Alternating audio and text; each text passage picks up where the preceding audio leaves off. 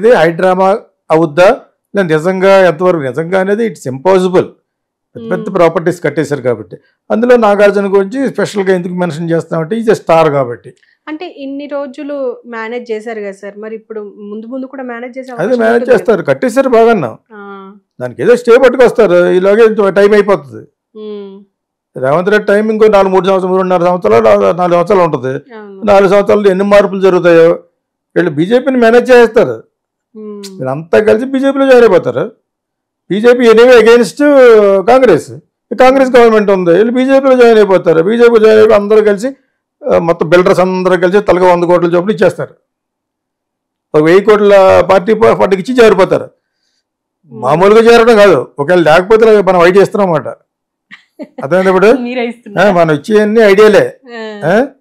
అంచేత ఐడియా లేకపోతే వాళ్ళ తల్లిదండ్రులేటి అన్ని కోట్లు పెట్టి నాగార్జున లాంటి వాళ్ళు నాగార్జున ఒకటే కాదు చాలా పెద్ద పెద్ద ప్రాపర్టీస్ కట్టేశారు. నాగార్జున ఒక లోగు ఎందుకు అంటే స్టార్ కాబట్టి. అర్థమైంది ఇప్పుడు? మేనేజ్ చేస్తారు. బిజినెస్ పీపుల్ అన్న వాళ్ళు మేనేజ్ చేయకపోతే ఇంకా బిజినెస్ పీపుల్ ఎందుకంటే వాళ్ళని? మేనేజ్ చేస్తారు. ఈ విధంగా కూడా మేనేజ్ చేయమని చెప్తున్నాం. చేరిపోవడం ఊరిపై చేరిపోవడం కాదు. చేరిపోయి వాళ్ళ అంత వీపీలేం కాదు వాళ్ళు. అమిత్ షా అందరూ చేరేటప్పుడు పట్టురావాలి బ్యాకులు బ్యాకులు అలా పట్టుకెళ్ళాడు కాబట్టి జగన్ ఇంతవరకు ఇంతవరకు అలా ఉన్నాడు. జగన్ అంతవరకు చెప్పు ఈ మహా టీవీ వాడు వాళ్ళందరూ పేల్తారు కదా రేపే ముహూర్తం పెట్టించారు ఎల్లుండే అరెస్ట్ చేస్తారు నువ్వు అవ్వాలి అరెస్ట్ జగన్ అవ్వడు. అంతే. అర్థమైందా? That will not happen. ఏదో అవుతూ ఉంటాడు అక్కడ. ఆ వంశీ అన్నవాడు నా లక్ష్మణ్ అమ్మ అవుతూ ఉంటారు.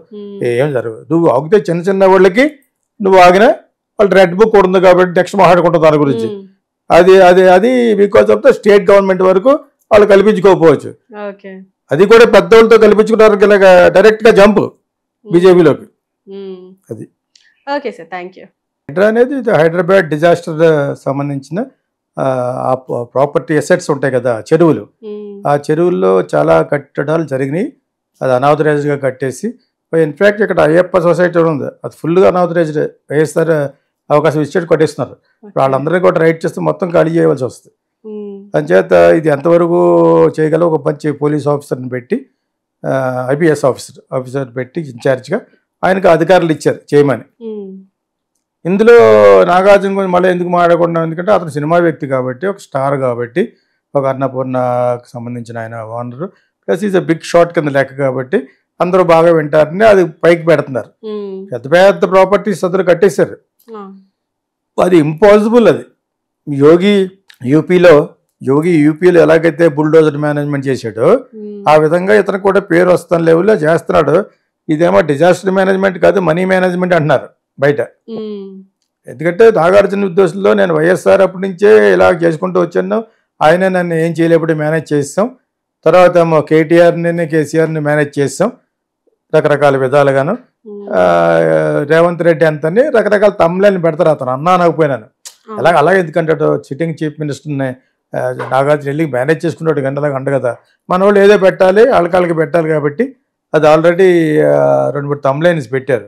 అతను ఒక్కడే కాదు చాలా మంది పెద్ద పెద్ద ఫ్లాట్స్ అందరూ ఆక్యుపై ఆ విధంగా అయ్యప్ప సొసైటీ ఫుల్గా అనాథరైజ్డ్ కాకపోతే ఈ హైడ్రాల కింద రాకపోవచ్చు. హైడ్రా కింద వచ్చేది ఏంటంటే ఎస్పెషలీ చెరువులు ఉంటాయి కదా.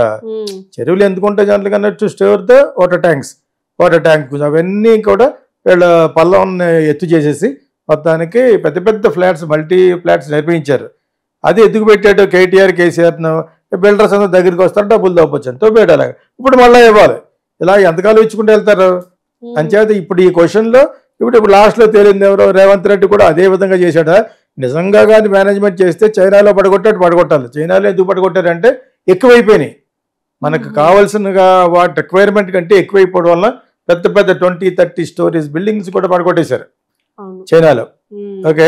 ఒక్కసారిగా కట్టు వాళ్ళందరూ ఎకానమీ అంతా పడిపోవడంతో ఇది చాలా ఇన్ఫ్లేషన్ దారి చేస్తున్న ఉద్దేశంతో చైనాలో దేవ్ గివెన్ అన్ ఆర్డర్ అనమాట పగలు కొట్టేయమని. ఓకే. వీళ్ళకేమో ఒక డబ్బులు కట్టిన వాళ్ళకేమో ఆక్యుపేషన్ లేదు. చాలా జరిగినాయి. అది China is very big country very developed country కాబట్టి ఆ రేంజ్లో మనం మాట్లాడుకోలేము. నిజంగా ఆ రేంజ్లో మాట్లాడుకోవాలంటే నాగార్జున కూడా కొట్టేయాలి. నాగార్జున ఒక్కటే కాదు కదా చాలా మంది ఉన్నాయి. వాళ్ళ ధైర్యం అదే.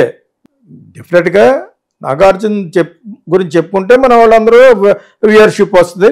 మన వాళ్ళందరూ బాగా చూస్తారని చెప్పుకున్నాం కూడా Nagarjuna is not the only person కదా. ఉమ్, ఇంకా పెద్ద పెద్ద బిల్డర్స్ ఉన్నారు. Because is being a star కాబట్టి ఇతను ఇతను ఆక్యుపై చేసింది ఎక్కువ స్థలమే. More than two and half three acres ఉంటుంది అది. ఆ పూర్వం పోగాటలతో కలిసి గవర్నమెంట్ది అది యాక్చువల్గా ఆ చెరువుని అంతా చేస్తారంటే ఇట్ ఇస్ యాక్చువల్గా ఎంతమందిని కొట్టినా నాగార్జున కూడా కొట్టకపోతే పబ్లిక్లో పేరు పోతుంది సీఎంకి. ఉమ్, అది జరిగే పని కాదు ఇది ఓన్లీ మనీ మేనేజ్మెంట్ అంటారు. కేటీఆర్ అలా చేశాడు ఇతరాలు చేశాడు మరి వైఎస్ రాజశేఖర దగ్గర ఆ టైంలో ఉన్నవి ఎలా చేశాడో తెలియదు అందుకంటే రోజు రోజుకి ఎక్కువ పేటరేగిపోయారు అనమాట it has become Hyderabad has become so much of required place కింద ఇలాగ అయిపోయింది. ఈ చెరువులన్నీ కట్టేశారు. చెరువు కింద కనపడుతుంది. ఎక్కడెక్కడ చూసినా కూడా beautiful Hyderabad is becoming beautiful అని చేత నేను ఎప్పుడూ అంటూ ఉంటాను కదా దుబాయ్ తర్వాత the most happening city in the entire world is Hyderabad. ఇంకా పెరుగుద్ది కూడా. ఈ మధ్య మధ్యలో ఇలా పెడతారు ఎందుకంటే గవర్నమెంట్కి వాళ్ళకి డబ్బులు కావాలి కాబట్టి. ఇది జరిగే పని కాదు అది. ఉమ్, అర్థమైనప్పుడు మీకు? దాని మీద ఇన్సూరెన్స్ చాలా ఉంటాయి కానీ ఇటువంటి అనాథరైజ్డ్ భూముల మీద కన్స్ట్రక్షన్ జరిగితే ఇన్సూరెన్స్ ఎవరు? ఏ పెద్ద పెద్ద బ్యాంకులే మేనేజ్ చేస్తారు గ్యారెంటీలు ఇచ్చి. అంచేత ఇవి నిజంగా హైడ్రా లేకపోతే హైడ్రామా అన్నారు అనమాట నేను రెండు మూడు సార్లు చదివాను నేను ఆల్రెడీ న్యూస్లో కూడా ఇది నిజంగా జరిగానా పెట్టానా? అతను అలా జరిగించాడు ఎవరో యోగి జరిగించాడు.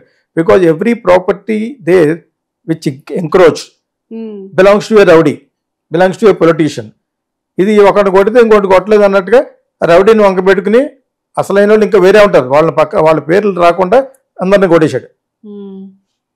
నోటీస్ ఇచ్చి వన్ డే నైట్ నోటీస్ ఇచ్చాడు మార్నింగ్ బుల్డు వెళ్ళిపోయి బట్టలు చదువుకు పోవడమే. ఆ విధంగా చేశాడు కాబట్టి లేదా యూపీ లాంటి స్టేట్ని దాన్ని ఏమంటారు పరివర్తనించడం లేకపోతే సంస్కరించడం అనేది సంస్కరించడం అనేది it's very difficult it's very big state Andhra Telangana కలిసి ఇంకొక ఆంధ్ర కలిసినంత ఉంటుంది.